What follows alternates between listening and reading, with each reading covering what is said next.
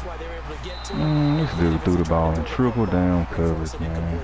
They were looking for Johnson that time, and it's third down. Sure, that pass was incomplete as they made an attempt to get a big one downfield. But that's okay because the second part of that is if you don't get the completion, at least you've told the defense you're trying to stretch them out a little bit, and they may have to change accordingly. I'll hold up. Johnson, and it's intercepted. Picked off by Ryan Shazier.